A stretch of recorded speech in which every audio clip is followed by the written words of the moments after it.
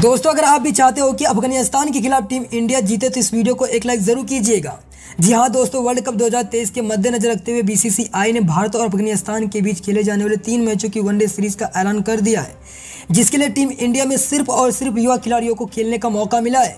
जी हाँ दोस्तों, आपको बता दें कि वर्ल्ड कप 2023 का मद्देनजर रखते हुए बीसीसीआई ने भारत का लगातार सीरीज़ का ऐलान कर रही है और टीम इंडिया को अलग अलग लाइनअप पर आजमाने के लिए बीसीसीआई ने टीम इंडिया को दो हिस्सों में बांट दिया है, जिसमें से सभी युवा खिलाड़ी खेलते हुए नज़र आएँगे। जी हाँ दोस्तों, अफ़गानिस्तान को रोदने के लिए भारतीय टीम में सिर्फ़ और सिर्फ़ युवा खिलाड़ियों को मौका मिला है।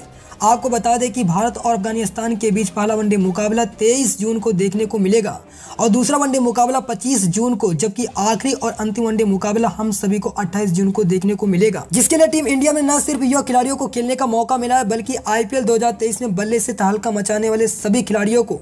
अफ़गानिस्तान के खिलाफ खेले जाने वाले तीन मैचों वनडे सीरीज़ के लिए टीम इंडिया के स्क्वाड में शामिल किया गया है। और जबकि इंडिया के सभी सीनियर खिलाड़ी विराट कोहली, रोहित शर्मा, हार्दिक पांड्या, मोहम्मद शमी, मोहम्मद सिराज जैसे खिलाड़ियों को वेस्टइंडीज के दौरे के लिए। फ़िलहाल आराम दे दिया गया है। जी हाँ दोस्तों, आपको बता दें कि टीम इंडिया के सीनियर खिलाड़ी अफ़गानिस्तान के खिलाफ खेले जाने वाले तीन मैचों की वनडे सीरीज़ खेलते हुए नज़र नहीं आएँगे।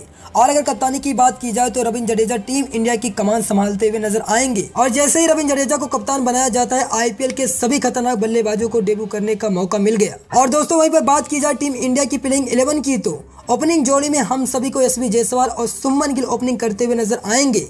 और आप सभी जानते ही होंगे कि ये दोनों बल्लेबाज आईपीएल में किस तरह की खतरनाक बल्लेबाजी करी थी। पावर प्ले में और सुमन गिल एक बहुत ही खतरनाक बल्लेबाज है। एक बार सेट हो चुके तो फिर रनों की बारिश करते हैं। और पहले ही टीम इंडिया में जगह बना चुके हैं। और अगर वहीं बात की जाए यशवी जायसवाल की तो अगर उन्हें अपनी जगह टीम इंडिया में बनानी है तो तो इनको अफ़गानिस्तान के खिलाफ वनडे सीरीज़ में बेहतर प्रदर्शन करना होगा। और अगर टीम इंडिया की मिडिल ऑर्डर की बल्लेबाजों की बात की जाए तो खतरनाक बल्लेबाजी करने वाले तिलक वर्मा और ईशान किशन और इनके अलावा सूर्य कुमार यादव और रिंकू सिंह को खेलने का मौका मिला है। और इन दोनों बल्लेबाजों ने आईपीएल के सीज़न में अपने खतरनाक बल्लेबाजी से ही तालका मचाया था। चारों बल्लेबाज जब बल्लेबाजी करते हैं, तब मैदान पर तूफ़ान आ जाता है। और सामने वाले गेंदबाज थर थर कांपने लगते हैं इनके सामने गेंदबाजी करने से।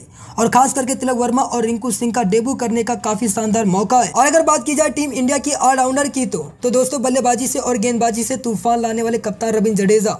और इनके अलावा अक्षर पटेल जो कि बल्लेबाजी और गेंदबाजी से दोनों से ही शानदार प्रदर्शन करने की काबिलियत रखते हैं। जहाँ एक तरफ़ रविंद्र जडेजा टीम इंडिया के कप्तान है तो वहीं टीम इंडिया के उप कप्तान अक्षर पटेल को बना दिया गया। तो दोस्तों, बात की जाए टीम इंडिया की गेंदबाजी की तो जो अफ़गानिस्तान के खिलाफ बहुत ही शानदार प्रदर्शन करने वाले हैं तो पहला नाम है उमरान मलिक और मुकेश कुमार है। और इनके अलावा अर्शदीप सिंह, जो कि टीम इंडिया की ओर से गेंदबाजी की भूमिका निभाते हुए नज़र आने वाले दोस्तों, आपको बताते हैं कि यशवी जायसवाल, रिंकू सिंह, तिलक वर्मा बहुत ही शानदार मौका होगा डेब्यू करने के लिए। तीनों बल्लेबाजों ने आईपीएल के सभी सीज़न में काफ़ी खतरनाक बल्लेबाजी की थी, लेकिन देखना यह होगा कि क्या ये इंटरनेशनल क्रिकेट में बड़ी पारियाँ खेल सकते हैं या नहीं। वैसे दोस्तों, आप सभी को क्या लगता है, टीम इंडिया की प्लेइंग इलेवन में और किसको किसको मौका देना चाहिए था? अपनी कीमती राह हमें कमेंट में ज़रूर बताइए। और क्रिकेट से जुड़ी हर खबर पाने के लिए हमारे इस चैनल को सब्सक्राइब कर लीजिए।